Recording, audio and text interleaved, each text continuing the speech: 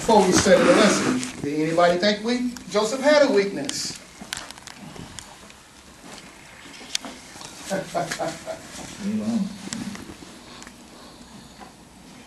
No, no, he didn't say. Do we think there was some weakness in Joseph's character? Can we identify, what might that weakness be? Pride. Huh? Pride. Joseph, little pride. I say it has a little, it- well, of course, he's getting, getting, getting there. Very, uh, What, what was his pride? What was his, what was his, I don't know, what was his deal? Brother Jo- Joseph? You know, the father made him a coat of many colors, and Ah, he was always having dreams and visions, and ah, ah. I like Well, that. This lets me understand his status where he was.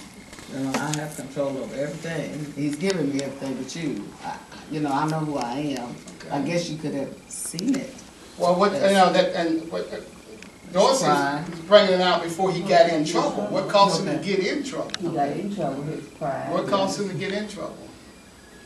Which was being subject to be sold. Your brothers I hate you. think, I think, I think we might say that, it, I guess it would have been a weakness, he would, he was, he was not boasting, but he was telling, and he didn't understand that everybody would be happy for you. All right. He's Yeah, naive. he's naive, Yeah, yeah. He, yeah, didn't- he didn't understand yeah, that, yeah. even though they was his brother, they wasn't gonna be happy for him. All So right. he just telling everybody what God was showing him. All right, all right, all right. I, I can go with that. I, I think that was his, uh, na- naive was the word, I think. Is that, uh, the- and then when the devil used that against you, Yes. yeah. That was easy. That's a, weak spot I got. Take, take advantage of this person right here. He's uh, naive. And I think that's what, and, and Joseph, and we'll see what uh, things in life may have caused that naivety to really uh, rise up and, and bite Joseph. We'll see. All right, uh, Joseph, I mean, yeah, I said Joseph, but I'm, want to say Genesis 30 and 22. Genesis 30 and 22.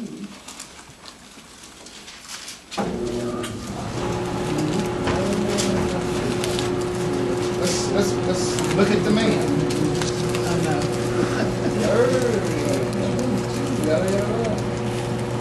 Okay, first of all, let's identify this guy. He, uh, he was born from his father's favorite wife, the one he really loved, so Rachel. And God remembered Rachel, and God hearkened to her and opened her womb. Uh-huh, And she conceived and bore a son, and God said, and said, God has taken away my reproach. And she called his name Joseph. Joseph. Okay? And uh, the word, the name Joseph means, anybody got an idea? It's he will add. Called his name Joseph. He said, the Lord shall add to me, in other words, son. So he, he will add. In other words, he's uh, uh, stuff increases. Stuff increases. God's law of increase definitely was in displayed in Joseph's life. We should read the story a more and more. So, and then look at Genesis 37 and 5. The man Joseph. Man Joseph. He was a, verse 37 and 5 says he was a what? Dreamer. Look at that. And Joseph dreamed a dream. He told it, his, like Brother uh, Williams was saying, his what? Told it to the wrong crowd. Who was the wrong crowd? My brothers. Sometimes you cannot bring out uh, Brother Dorsey, being an entrepreneur businessman. Tell me everything the Lord's showing you about your, huh? Your business. Give me your trade secrets. And the Lord's going to show me how to put this. This is going to be invented patent. And, da, da, da, and I'm going to have the rights to this, and copyrights to that. I'm going to write the book and all. Brother Dorsey's telling Brother Williams, and Brother Williams said, I think I better go patent that. Put patent on. John comes up with the whole and terrain, how the thing works, but Williams has got patent. Though I couldn't put one thing together, but I got the right story. So sometimes the Lord gives you something in a dream, in a vision, in an inspiration, in a moment. And you got it. And you go testify to the whole church and tell everybody this is what the Lord is doing,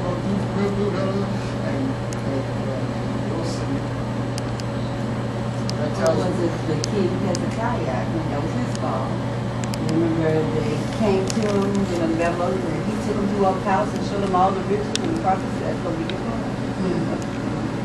Sometimes they want you use your stuff it's not the right time, too sure.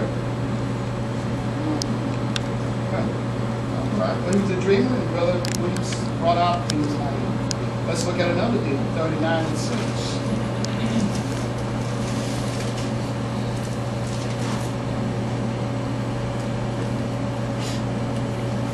Read that. And he left all that he had in Joseph's hand, and he knew not aught he had, save the bread which he did eat.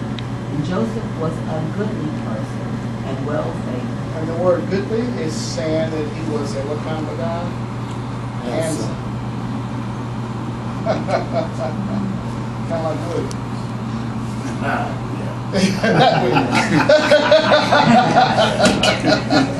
Ah. Yeah. he was a handsome guy. Handsome guy. How many knew some good looking guys in school and that was their downfall?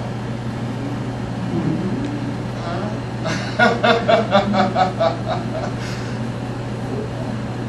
yeah. All the girls was around. All the time. All the time. Turned out, up and turned out to be what? Nothing. you know, turned out, turned out to be handsome. They all the girls like handsome. And his sister went with a guy that uh, he would come over, stand in the mirror, uh, some reflection. I said, not him. He's too prettier than you. That's pretty, prettier than you. so this guy one of these big pros, you know, he keep it all up and all that. So uh, sometimes that can be the downfall. Good looking. All right, so now let's get into the story of Joseph. Okay. Okay. It came to pass after these things that his master's wife cast her eyes upon Joseph. She said, Bible translated, let's go have some sex. Let's go get it on. Me and you, babe.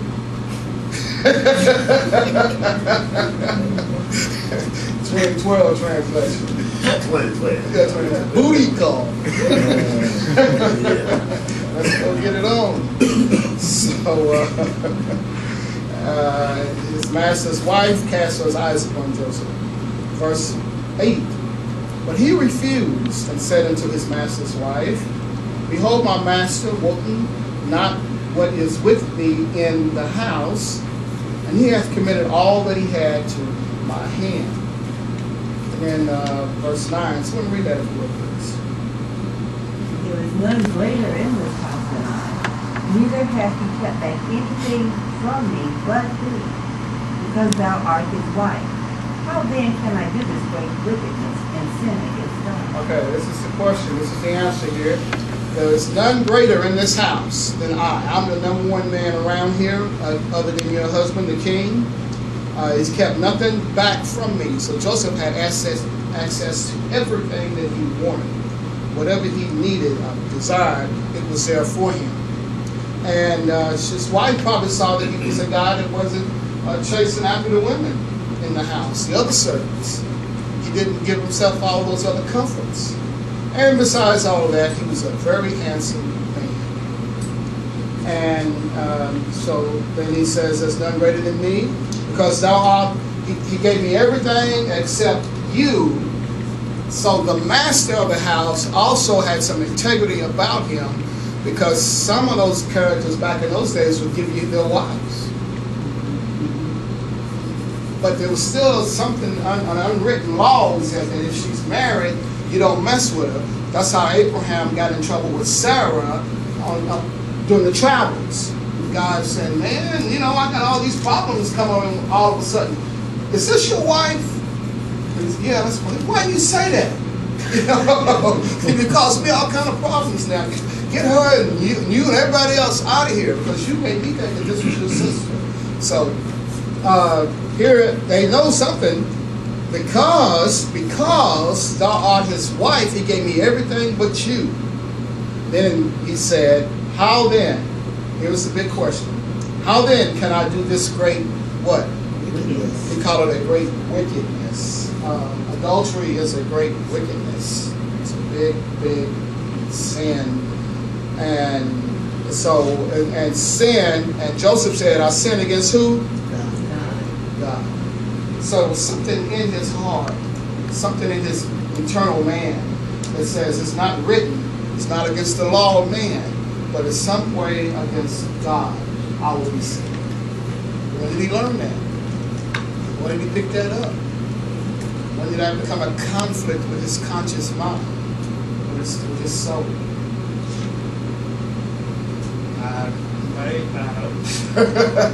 he had to learn it somewhere.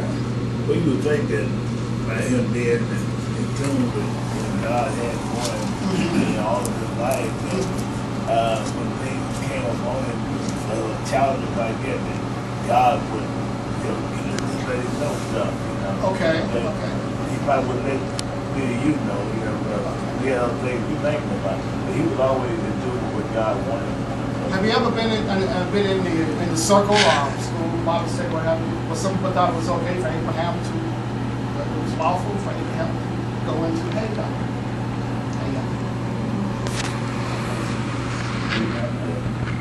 And he's Well, that was a, that was the what? Mean, they did. That was acceptable no, I didn't. That's what I said. That's why I start getting the right foot of Fellowship Bible Baptist Church. I was a young guy in the Lord. I, couldn't be saved more than a few months. And we were studying that. And I said, no, it isn't. I said, if God, if it's wrong with God today, it's wrong with what's wrong with God then. That's all I knew. If it's not right now, it couldn't have been right then. It's the same God. The preachers and everybody, deacons, don't me what did I just say? Well, maybe he was sitting on the toes. I didn't know, you know. I said, no. I said, I kept trying to figure it out, you know, how could it have been right then? It's always been a uh, going against God to do that. So um, uh, that's what Joseph had it in him to do this great wickedness. Somewhere in the New Testament, I wish I had time to look it up. It says that the Gentiles follow after righteousness not after the righteousness that's in the law, but just after what's in its natural course, what is the right thing to be doing. The Gentiles follow that. So uh, uh, it's somewhere, somewhere in there. I didn't look it up, but I wish I had. But so it, it's always been a great uh, wickedness. And even the Gentiles, Paul says, no better than this. All right, verse 10. Maybe Candy will find this, you might know. It came to pass as she spake to Joseph, how often is this temptation? All the time. and the tempter, which is being displayed here as the woman, but we know what's behind her is Satan. This temptation is how often? Every day. Speaking. Speaking. Day by day. Is this, uh, when we say this, uh, this sin temptation, is that a, one of Joseph's weaknesses? Since that temptation is coming around every day. It's in the, it's environment. It's in, everywhere he goes, this thing is They might have been mistaken as a witness, but I don't think it was a witness. Can't make himself ugly. Yeah. Yeah. I think, I think the devil took it as a witness. Yeah, the devil is coming after him, but it's really what the weakness for him because he's uh, he has it in his heart not to uh, offend God's uh, away. So, but uh, he's in an environment that that temptation comes up to him. Now, can, how can he get away from that environment? Can he say that, uh, oh, I got I, I got to come off this high seat because I'm in the king's wife's presence all the time. Every time I go into the palace, she's there and, it's out administrating every day. They're, all around. What do we do in 20, 2012 when we go to work and there's temptations every day hanging around? There it is. Day That devil's talking. That devil's a Day by day. To put yourself in a position. Stay clear. Okay. Uh, anybody else? How do I keep this temptation away day by day?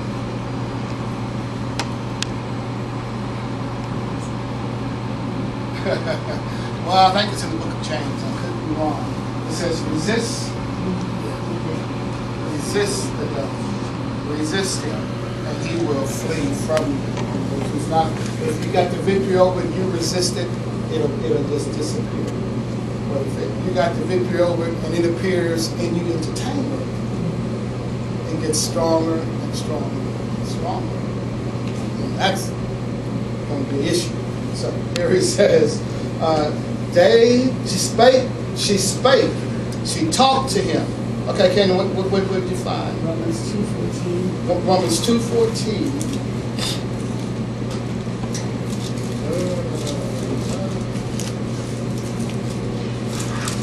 Your fingers on Genesis real quick, if we'll look at that.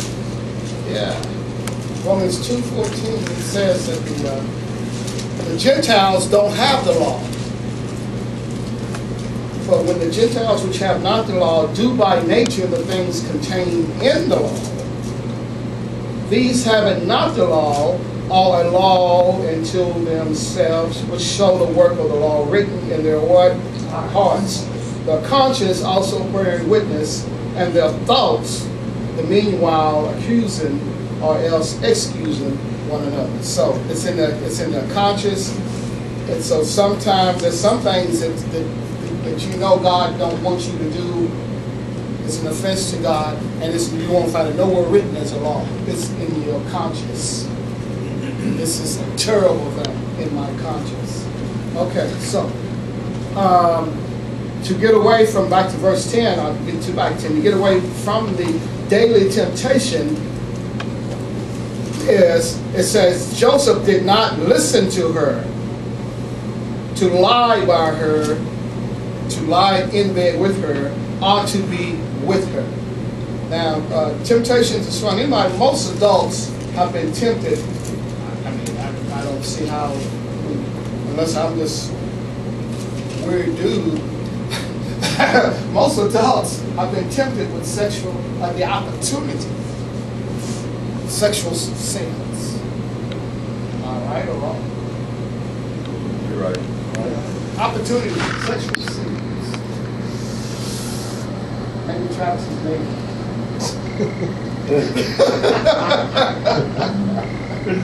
Maybe the fox.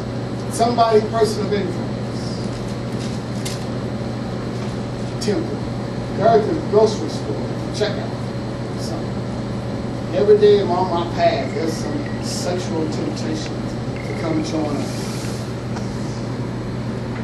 How do I deal with this? The Bible says, don't listen, don't go. Resist. Resist. The Bible says about, well, what about Jesus? You think in his earth walk there might have been a sexual temptation? Who would tempt Jesus? Sexual sin. Who would that? Yeah. Bible says he was tempted in every temptation that there was, yet without sin. So yeah, he was tempted with sexual sin that we can fall. Uh, nothing new. It's a trick of the devil. It's one of his best tools in the has out. Hmm. came to pass about this time that Joseph went into the house to do what? Do his business. Now, I'm in the workplace. I think Sister Deborah's in the workplace, human resource, big shop somewhere, one of the big time companies. You ever get any sexual harassment complaints? Did you say? That's the latest latest. So, in the workplace. This is where he's doing his work, his business, sexual harassment. Trying to appeal to him, trying to solicit, trying to get him to go with her, be with her in the workplace. I think in all of my adult life, I don't know a, a 10 year period where there was not some sexual harassment reported somewhere in some workplace. All the time. From politicians to commercial business, private businesses, all the time. The devil is using that tool to take people to hell. all the time. Got, that's one of his main, he'll call that play all the time. So, and wherever you go, that's that's a temptation. I mean, that's that's a deal. That's a play that the devil's going to run. And here's Joseph right there in the midst. He can't get away. And you know, and, and I don't want to get too far off subject, but I, I'm a pop, political junkie. I hear all these stories that come up and go on. And I said, why are they waiting like Herman Cain? You know, why? Was, how many years ago did they say that was? Why are they waiting to bring that information out? Wait, wait, no, wait, wait, no. Maybe both sides of the fence was playing that.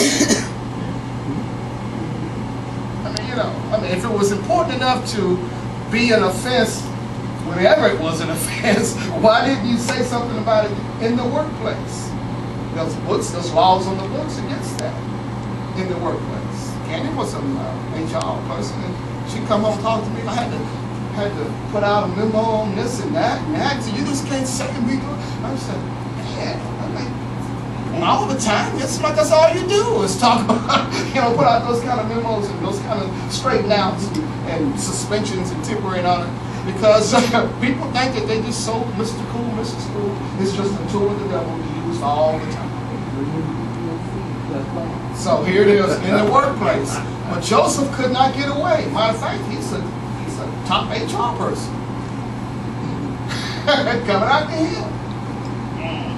So Joseph went into the house to do his business, and there was none of the men of the house there.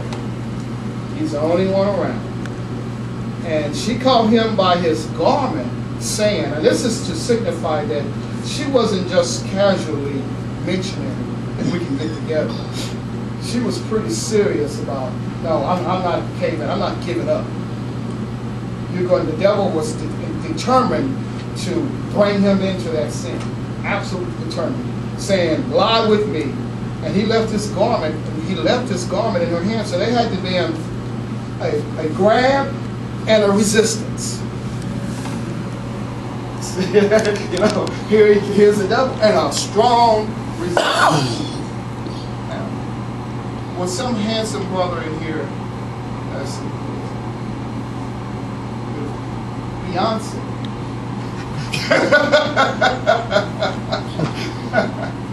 How the music on and come shaking, shaking. it's just you and Beyonce in the room. Where you give like strong resistance. That's what that's what he did. He did. The Bible is telling us she went strong, he went strong the other way. I do bow down, submit, submit. Most people just came in. They don't have enough on the inside. Well, strong resistance. So that's what it's showing us, Joseph. Um, and and and not only that, but he fled and he got out of that situation. It came to pass when she saw that he had left his garment in her hand and was fled forth, she called unto the man of the house and saying, See, he had brought he had brought in a what? Hebrew to mock us. He came in into me, came in into me to lie with me, and I cried with a loud voice. Now, here it is, the, the mental side of it. Is that when it comes time to the exposure, the devil's going to use it against you. Yeah, he's handsome. I didn't him, but I'm going to turn it to where it's his fault. And for him to pay the consequences. Hmm. She, knows that she came after him, but she knows that when, when the devil's setting up the trap, he knows that when it comes to excuse, when it comes time for exposure, I got a secret weapon to show that it was that person's not the aggressor, not the initiator, but the one who got sucked in. I got some weapons to show that it was his fault. Wow. So while the devil is, is tempting you, he's already got a game to expose you and to bring you down. Because the devil is coming to do what? Steal, kill, and what? Destroy. Don't think he's coming to bring you a party. He's coming to bring you destruction. Wow. So eventually, everything done in the dark comes to the light, and it's brought to the light to destroy not only keeping you from, uh, uh, from getting into heaven, but to destroy you down here on the earth. You, man, it's like that is not fair about devil. Man, don't seem right. You know, he kept me out of heaven. Now he's throwing me up on earth. Ooh. Mm, mm, mm broken homes, broken families, lost a job, uh, you're sued, uh, so sexual harassment lawsuit, uh, you just name it. And the devil, that's, well, that's, the final, that's what the devil was aiming for. And that's what she was, this Hebrew, see, this Hebrew, not just any man, but this Jew came in here. And he says he's going to get the, the wife of the Gentile king. She said, the devil is saying that, that was his purpose. Oh, wow. So, all right. It came to pass when he heard that I lifted up my voice and cried, he left his garment with me and fled and got him out. So there's a conspiracy behind the whole deal. And uh, now uh, it's argument time. Who's right and who's wrong? Whose fault was it? Who started it? the whole deal. This woman, Potiphar's wife, what would you think? She's a good girl? You think her husband knew she was a good girl? How do you think her husband felt about her? Was she virtuous? Was she a virtuous woman, like the Bible describes? Of a good wife? Did she have those kind of traits?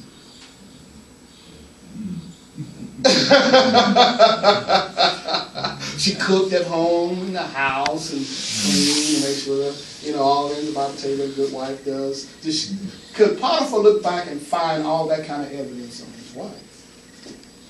She's just a girl sitting up there next to the king, getting all the benefits of being married to the king. How do you think Potiphar felt about his wife? Never hear much about that. Mm-hmm. In the brain uh, souls. Uh, uh, you, you know, probably, Work at a Queen ever done. yeah, probably because he knew that, well, it, it never tells how he got her as his wife. Yeah. You know, so it could be some things that was going on then, but he knows, okay, she can't be trusted. But when I'm gone, I'm gone, you know. And he was doing his thing, and you know, probably while he was away, but he wasn't worried about her. Ah, And then when she, uh, when she tried to get with Joseph, and he rejected her, Uh-huh. that hurt her pride. yeah, and that's a, now But man to man has done that man, before. man to man. You're a handsome dude. I left my house. uh, Okay, testosterone's running high. You got the run of the whole place. girl over here, she don't look too bad. I mean, you know. We're man to man, brothers and brothers. If she came on to you, would there be a story that you ran from her? Or would there be a story that you actually raped her and then ran? Or, oh, girls, what's up? any holes in the old girl's story? Yeah, it was a lot of them.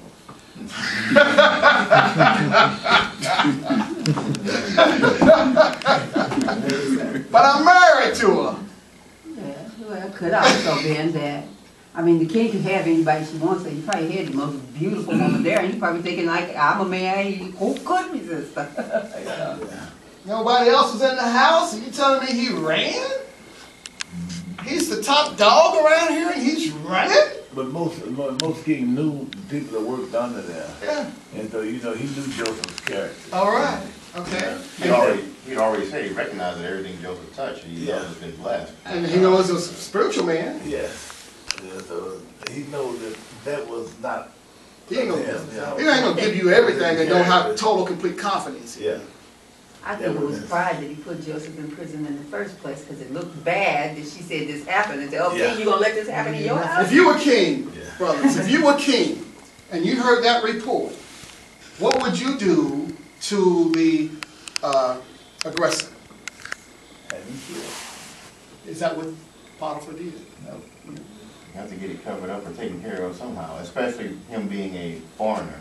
Back in that day, that was his head. That's like a black man today being accused of something. Yeah, it was like that. He- They hung him in a Yeah, body. yeah, no. Yeah, he hung. Yeah. Back in the twenties, maybe thirties or forties. this lady. Was Thursday right, yeah, it's awesome. He's No, hung. well, it was- but it He's was- on- it he's They dead. got a movie out, uh, about Florida story that right. All the woman Hollywood, nigga. Yeah, that's how the twenty-one race where I started Yeah. here. In the elevator, that's the story, you know. Yeah. You know, now they burning everybody's house out, killing folks, and the whole nine yards. It was one man against the testimony of one white woman. Now, if the ruler Yoko Yoga was here in Tulsa had that kind of attitude, what about a king? Hmm. He's gonna chop, chop his head off and put it up for display. But it's so when you read the story, you'll see that Potiphar did not really believe or trust his wife. He really had more confidence in Joseph. Yeah. Read on. Okay. Came to pass, verse fifteen. When he heard that I lifted up my voice and cried, that he left his garment with me and fled and got him out. And she, and she, uh, and she laid up his garment by her until his Lord, till the Lord came home. Mm. And he spoke, and she spoke unto him according to these words, saying, The Hebrew servant which thou hast brought unto us came into me to mock me. So she's putting the blame on who? Yep. And who? And him. That nigga you brought, I mean,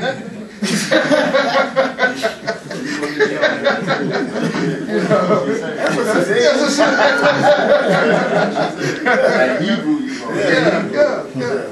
And, uh, you know, so, so uh, Potiphar would not put that man over everything if he did not already have complete, what, confidence in him. And saw the, the track work, the, the tracks of that man. That man is a good man. And the, the, the law of addition is with him. Potiphar's seen all that. He's got testimony from the people in prison that this guy is, uh, he's, he's different than anybody else now. Potiphar brings him up, makes him his second in command. Access to everything but my wife. Okay, no problem. He was making the money too. And making him money He was too. making the Why he was in the jailhouse, why he's a slave. Hmm. Okay. Hmm.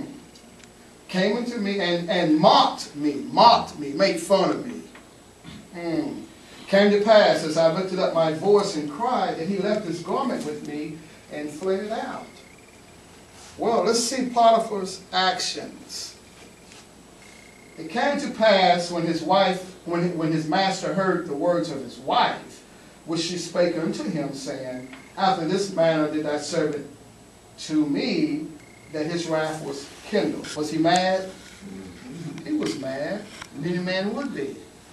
Hmm. But how mad was he? I think the king was more smarter than the wife. Yeah. What do you think about that? Joseph, he knew Joseph made his money. You know, Joseph was smart. So if I kill this man, I, I ain't getting no more of this money made. I'm gonna lose. Yeah, yeah. We can deal with this. Yeah, we can deal with this. You think she was disappointed that he only threw him where in jail? I would think so. Yeah. She was disappointed that all you did was gonna put him in jail? He could be that snub and nose this, you didn't get me. Yeah. All you gonna do is put him in jail? This right here shows that the king did not really trust his wife. I'm gonna kill, I'm gonna kill you. No. Put him back in jail. There's something, she's got some track record. So when that devil comes tempting, you gotta say, wait a minute. There's something behind this. There's something behind this. This guy's character, this woman's character, trying to tempt me to go get into sin. We're gonna be partners in sin. Hmm. What does this say? Thieves have no honor? What was? No honor amongst thieves? no honor among sinners. when it comes time to sell you down the drain, guess who's gonna be on the auction block? so, but, so here's Potiphar. Joseph's master took him, put him into the prison, a place where the king's prisoners were bound, and he was there in the prison. Put him in prison. And either he's smart, or he's getting some inspiration from God. Don't kill this guy because he's going to be even more of an asset to you in days ahead.